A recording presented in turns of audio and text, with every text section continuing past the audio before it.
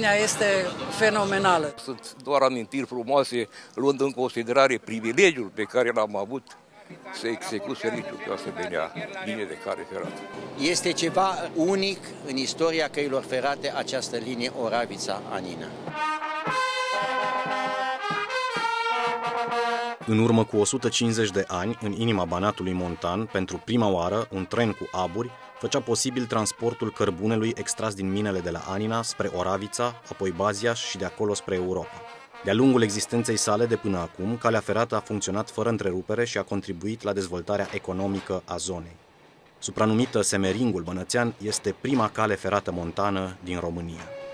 Hai să începem cu începutul. Ea a fost construită acum 150 de ani pentru că a avut un rol extraordinar de legătură atât din punct de vedere economic cât și al nevoilor sociale de la Oravița la Anina se deja eram în plină perioadă industrială, toată Europa a, a explodat într-o, într-o vervă de a face industrie, Caraseverul în special fiind o zonă bogată în minereuri, se exploata cărbunele, se ducea la Oravița, de la Oravița se cărau pe diverse, cu alte mijloace de transport, dar calea ferată de la uh, Oravița la Anina a fost prima nestemată pe, pe, în coroana Banatului de Munte, ea reprezintă o tradiție extrem de bine pusă la punct, dacă putem vorbi despre tradiții în felul ăsta, dar e un lucru la care Banat de ține foarte mult.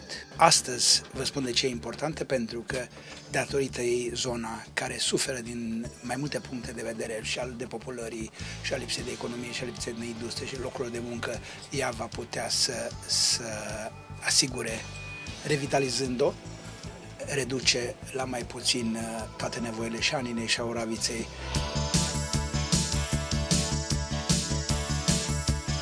În rețeaua națională de căi ferate, această linie este un unicat. De ce? Pentru că este cea mai densă grupare de lucrări de artă din România.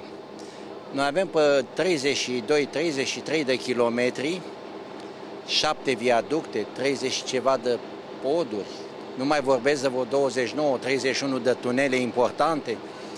Deci iată că pe 30 de kilometri avem o sumedenie de lucrări importante. Lucrările astea ne vorbesc despre tehnologia din secolul respectiv. Nu uităm că linia asta e construită în 1861. E terminată în 1863. Deci iată 1861-1863 ce lucrări monumentale de artă s-au realizat.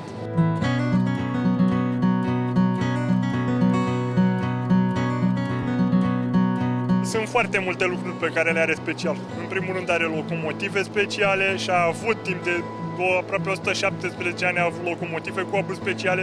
Chiar și locomotiva pe care o vedem în spatele meu este o locomotivă specială, chiar dacă e un gen mai modern de locomotivă diesel.